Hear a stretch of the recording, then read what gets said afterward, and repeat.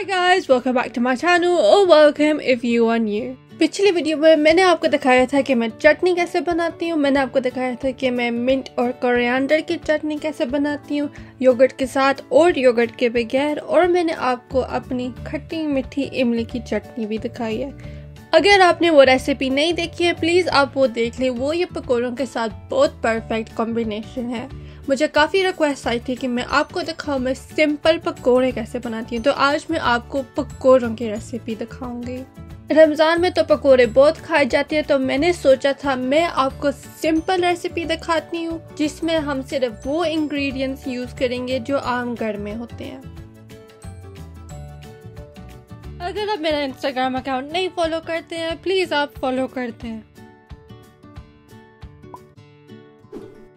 इस रेसिपी के लिए हमें चाहिए एक प्याज, तीन बड़ी चम्मच बेसन, दो सब्ज मिर्च, दो मीडियम साइज़ के आलू फ्रेश लाइम या लेमन का जूस तीन सब्ज प्याज फ्रेश धनिया थर्ड छोटी चम्मच जीरा, एक छोटी चम्मच रेड चिली पाउडर एक छोटी चम्मच crush chilli one and one quarter छोटी चम्मच नमक वन क्वार्टर छोटी चम्मच अजवाइन, एक छोटी चम्मच खुशक धनिया और एक छोटी चम्मच अनारदाना सबसे पहले एक लार्ज मिक्सिंग बोल के अंदर मैं आलू और प्याज को बारीक काट के डालूँगी इनको मैं थोड़ा सा हिला लूँगी कि प्याज के पीस सेपरेट हो जाए।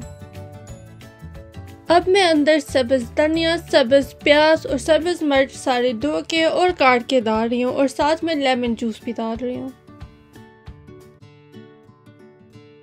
साथ ही मैं मसाले भी डाल रही हूँ।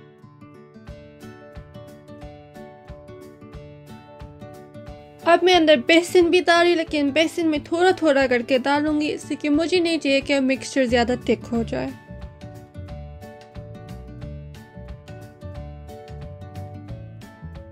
पानी डालने से हमारी इंग्रेडिएंट्स ठीक तरह मिक्स हो जाएँगी तो मैं पानी डाल रही हूँ। आप उतना डालें जितना आपके बैटर को चाहिए।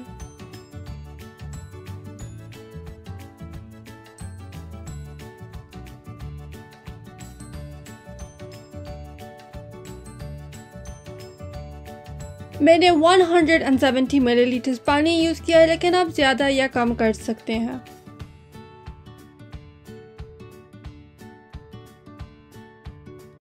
चलें, अब हम फ्राई करना शुरू करते हैं। ऑयल को टेस्ट करने के लिए कि वो ठीक तरह गर्म है या नहीं। आप थोड़ा सा बैटर अंदर डाल दें।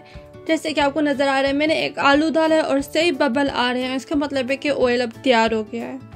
आप पकौड़ा के बड़े साइज़ या स्मॉल साइज़ बना सकते हैं आज मैं मीडियम साइज़ बना रही हूँ।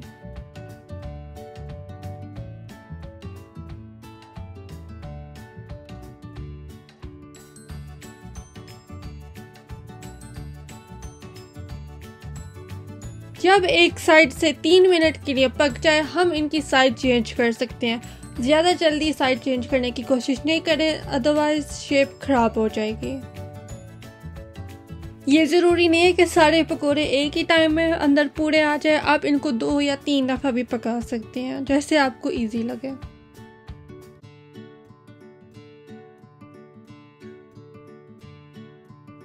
जब दोनों साइड से गोल्डन और क्रिस्पी हो जाए, इनको हम निकाल के टिश्यू पर रख देते हैं। अगर आप इनको ज़्यादा क्रिस्पी चाहते हैं, आप इनको एक कूलिंग ट्रे के ऊपर रख सकते हैं, नीचे एक और ट्रे बिछा के कि सारे ऑयल के कतरे उसके अंदर गिर जाए। इससे पकोड़े ज़्यादा क्रिस्पी होंगे।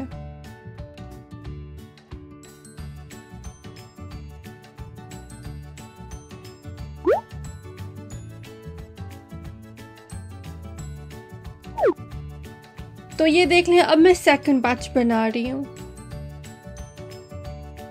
ये देख ले हमारे पकोड़े कितने मज़ेदार बने हैं। बाहर से बहुत क्रिस्पी है और अंदर से सही परफेक्ट कुक हुए हैं।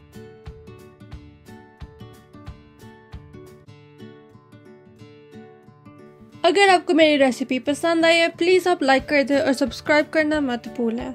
आप मुझे ये भी बताएँ कि नेक्स्ट टाइम आप क्या देखना चाहते हैं। Thank you so much for watching see next time bye